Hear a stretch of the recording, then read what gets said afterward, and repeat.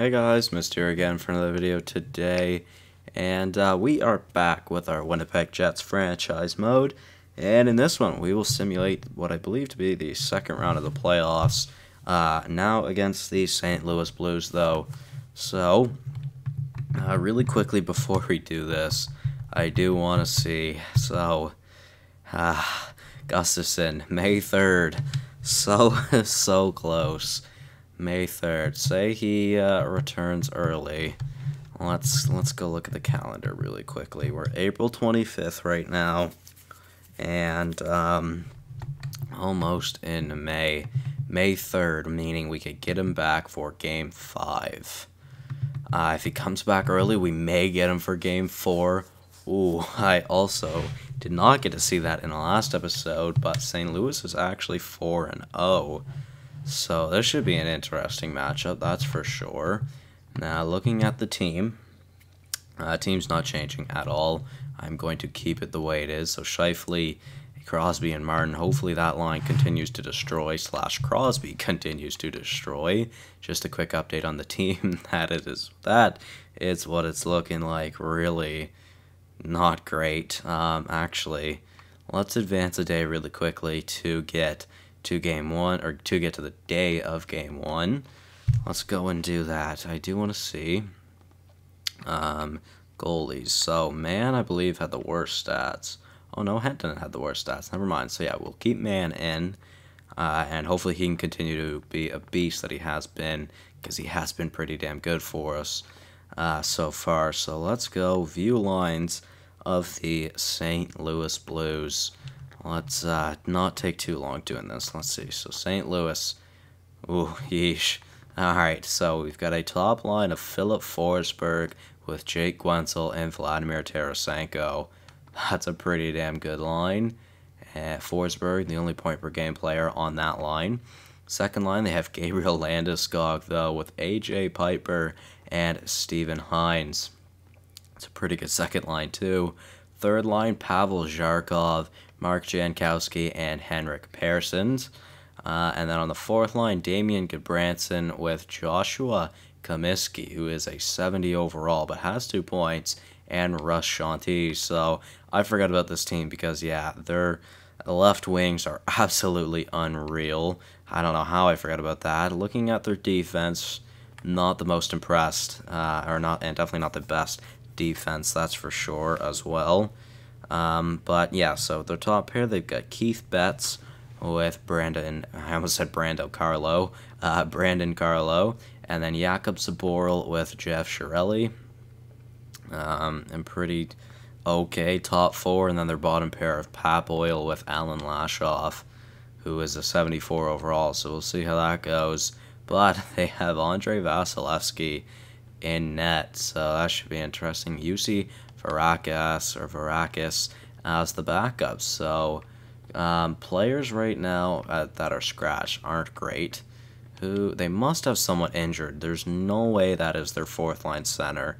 Don't remember his name, but uh, there is no way that is their fourth line center. So let's go and see. I didn't mean to go to roster moves. I meant to go down um, to the injury report. There we go. Let's go look at this really quickly. Um, St. Louis, uh, they don't have anybody injured apparently, so interesting. Just gonna refresh it. Yeah, no. So their fourth line center is a 70 overall, which really is not good, which is crazy to me. Um, but uh, yeah, I mean, let's get right into this. Might as well start this uh, relatively quickly into the episode. So, game number one. Period number one. Let's see how it goes. We have home ice advantage. Let's see, first period. Alright, goals on each side. One by Dixon and then one by Piper. So, um, yeah, 1-1. Uh, 12 to 7 were the shots for us. We now head into the second period and uh, we'll see how that goes. So, second period now, we got the only goals in that period, and Barker and Angle, the goal scores, and it is 3 1 for us right now. we head to the third up by two goals and up by four shots on the shot counter as well. And uh, yeah, yeah. So uh, looking pretty good so far as we come to the last half of the third period. Still up by those two goals. Never mind, Gabriel Landeskog makes it a one-goal game. And uh, come on, can we hold on? Ah, uh, yes we can. So we hold on to get the win in game one. Uh, not too bad. Unlikely goal scores in that one, that's for sure. Two, two of them might, or what's three of them defense. Don't remember to be honest. Um, I know two of them were for sure, so that's interesting. Um, but yeah, we'll simulate to game number two now. Uh, um, yeah, so we'll see how this goes. Game number two, again, uh, we'll just hop right in and uh, we'll see how this goes. So, first period of game two. Uh, all right, Johan, or Yo, was it Johan? Yeah, Johan Persson scored the only goal of the first 20 minutes, and um, yeah, not bad. One nothing heading into the second. Um, and uh, yeah, I mean, looking like a pretty solid period from Winnipeg there, out shooting them 10 to 7, and we are uh, and we have the lead, so that's pretty damn good if you ask me. Now let's go uh, second period. Come on. All right, the only goals in the period went to St. Louis, and it was Forsberg and Guentzel. So it is now 2-1 for the Blues, although they are still trailing in shots. Um, yeah, so we head to the third, trailing by one, although we definitely kept, came from behind uh, farther than that before. So hopefully we can do it in this third period. We had a power play opportunity, but weren't able to score on the power play. We have another opportunity on the PP, which again, not able to, uh, not able to score on. And we have another chance, but not looking too good as we come down to the last couple of minutes. And Marshall Belak with the tying goal on Varakis, uh, 36 seconds in or not 36 seconds in, with the last 30 seconds of the period. Uh, nice. Nice. Uh, that's good. so uh, it is 2 2, and we head to overtime, outshooting them 36 to 25. We'll hop into the OT period. Now we have a power play. Come on. One day our power play will get it done. We have over 40 shots now. We are dominating dominating them so far in this overtime period, but both goalies standing strong and uh, making some saves. So there we go. That is the first overtime period now over. And we head to the second one, which it will end early. We have 50 shots right now. Um, yeah, that overtime period and I think we scored a short-handed goal. Brandon McKenzie, I want to say potential uh, future captain. I mean, that's definitely a possibility. We got a penalty, then Chiarelli got one for roughing uh, at 8:41, and then we scored at or not 8:41 at 18:41. Then we scored at 18:44. How does that make sense? Um, I, you know what? That's okay. On our 51st shot of the night, we scored the game winner. That is crazy. Vasilevskiy with 31 saves. I wonder what happened to him. But yeah, he did great, really. And then Varakis did good too. McKenzie with the game-winning goal and three hits. Uh, nice, nice, nice. So that's good. As Marshall Belak has been injured until May 6th, which is no good, that's for sure. Crosby's up to an 83, man, what a beast. Um, so, should we go with Goring or should we go with Zabotal? Um, Goring has played how many games? He's played three games and yet to get a point. I feel like maybe I should go with uh, Piero Zabotal. Did I say Pierre Zabotal? I meant to say Piero Zabotal.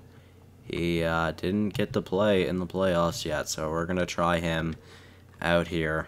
Because why not? Who do we want our centerman to be? An actual center in Winkler. And then Zabotal gets to play in his natural position as well. So we'll try that out. Uh, not too bad.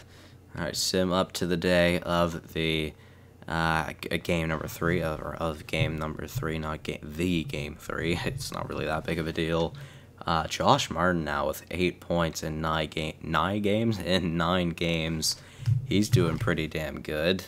Um, let's see though how game number three goes. Now this time in St. Louis. Hopefully we can continue the win streak and uh, uh, yeah, hopefully it doesn't come to an end. Let's go. First period. The only goal goes to the Winnipeg Jets, and we scored from half ice, uh, from the wrong side of the half, I believe. Manny Messier with the only goal of the period, and Varakis is in net still. Vasilevskiy must have gotten injured, which is not good for St. Louis, although Varakis has done good. That is still not good for St. Louis. Second, oh wow, we held them to only two shots that period. Shots were 12 to 2 for, for us. Wow, okay. Second period now. Ooh, lots of goals in the second. Crosby opened up the scoring in the second. Then Hynes and Persson, who brought up, or brought them to a tie game. Then our future captain and Isaac Leopold in the net. Um, in the net scored from uh, uh, in the net. He basically scored from the goal line to get re-give us the lead, and uh, Persson actually scored from center ice on man, so that's unfortunate. So in this game, both teams have scored from around the center ice uh, stage, which is kind of ridiculous. Uh, good period though from St. Louis. They had 12 shots, so way to re redeem themselves there. Shots 21 to 14 now. And uh, we head to the third, up by one. Score currently 3 2. We are still out shooting them as well, though. I'm pretty sure I did say that, although I don't remember to be honest. And Cedric Franzen makes it 4 2. Uh, we just surpassed 30 shots as well. And, uh, yeah, uh, there, yeah, I mean, three minutes left, and we should be good. Isaac Leopold with the second of the game, another um, I almost said another half quarter. nope, another half ice goal. Um, half ice? No, yeah, half ice, yeah. Three goals that game coming from the half, which is absolutely ridiculous. Leopold with two goals and an assist. Franz with a goal and two assists. Then Messier with a goal and an assist. So our top line did good in that game, clearly, which is really good because Leopold didn't have the greatest, uh, greatest playoff sim last season. He hopefully will have a better one this series, this season, and we're coming up to the third. I think we should get Gustafsson back for the second. There it is. He has recovered from the injury. I just saw the notification. Man, I got a big smile on my face right now. That is awesome. Awesome? Awesome. Sven Gustafsson is fully healed and ready to be playing in the NHL again. Hentunen will be the one taken out. Now, I'm sorry to Man. Uh, Man isn't going to be starting, although he still has really good stats for us. It is Gustafsson's goal now. Gustafsson will be the player. Uh, will be the player to hopefully lead us to the second round. But uh, we'll see. Now, really quickly, I want to go see uh, what Vasilevskiy got injured with. So, uh, Belak, he's actually going to be out for a long time because he's still pending evaluation. Although it did say May 6th, did it not? Thought it said May 6th. Uh, Vasilevskiy injured until May 5th. So, assuming they do force a game 5, they will have Vasilevskiy back in net. Which will more than likely, well, they should at least, not a guarantee. But that would really help them out, that's for sure. Um, yeah, I didn't mean to do this. What am I doing? Um, exit out of that because, like I said, didn't mean to do that. Um, yeah, so let's go and uh, simulate the game as, as, I meant to do. And hopefully uh, this will then go over well. Tarasenko took a face-off and Leopold, 15 seconds in, scored a goal. Nice. On the first shot of the game, Varakis let one by him. That was a far shot, too. Alright, boys, first period now. So, the only goal was Leopold's goal on the very first shot of the period, and 15 seconds in as well. Uh, shots are actually 12 to 11, and that was for St. Louis, and I think that is one of the only times St. Louis has outshot us in a period, which is kind of crazy. Um, but yeah, I mean, let's head to the second period now. Come on, boys. All right, we get another one. Bryce Angle, I believe it is Bryce, uh, gets the second goal of the game, and it is for us again. Shots are 26 to 18 in favor of St. Louis. So are we ever getting outshot right now? Sorry about all that noise, though. Someone just got home. Um, I guaranteed. I know you guys could hear that. Well, let's slow sim the third period. Um, yeah, there we go. Let's uh, slow sim the third, and hopefully we will sweep the St. Louis Blues. Uh, maybe if Vasilevskiy hadn't got injured, it would have been a different story. Although Zharkov doesn't have, uh, okay, I was going to say Zharkov has something to say about it, and Ehlers and Crosby scores, and it is now 4-1 in favor of Winnipeg with 43 seconds remaining, and we will move on to the Western Conference Finals with uh, this team. Gustafsson in the game that he returns at gets uh, a 34 save performance with a 971 save percentage. Two players on our top line with a goal and an assist. Wow, Leopold also had five hits, so what a beast he was in that game. But yeah, boys, after the uh, St. Louis Blues sweeping in the first round, they then got swept in the second round, which is quite funny if you ask me. Um, let's continuously advance stage to see who we'll uh, be facing in the uh, Western Conference Finals. Will it be Anaheim? I don't know yet. Anaheim or Vegas. Uh, it will be Anaheim. So Anaheim won in five games. Now I'm going to go and see the stats really quickly. Player stats. Let's go and look at these. Uh, for the playoffs, so Crosby with 10 points, Leopold with 10 points, and Martin with 10 points. Yeah, Martin is actually doing really good. Uh, Ehlers with 8 points, which isn't too bad. He's got a lot of assists.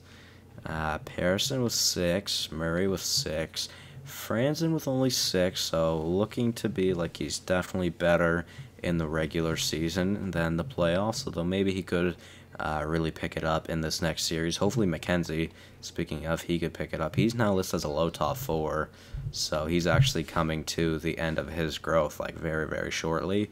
Scheifele with 4, Dixon with 4, Messier with 3 in only 8 games, because he did miss some time. Uh, Belak had 2 goals in nine games. Zabotal has an assist in those two games that he's played, so that's not bad. And let's go check the goalies. Henton did absolutely horrendous for us, but man, are really held in for us to bring us some wins and bring us a lot of wins, to be fair.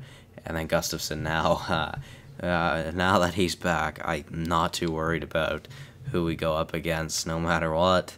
Uh, but that is going to be it from me in this one, guys. It obviously was a short one, but uh, yeah, I mean, well, it actually wasn't that short. I thought it was a lot shorter than that. Uh, but yeah, that is going to be it from me, guys. And this one, Marshall Belak is also ready to come back for the Anaheim series, which is definitely nice. Um, but yeah, guys, that is going to be it from me. Hopefully you all did enjoy, and I'll see you in the next one. Goodbye.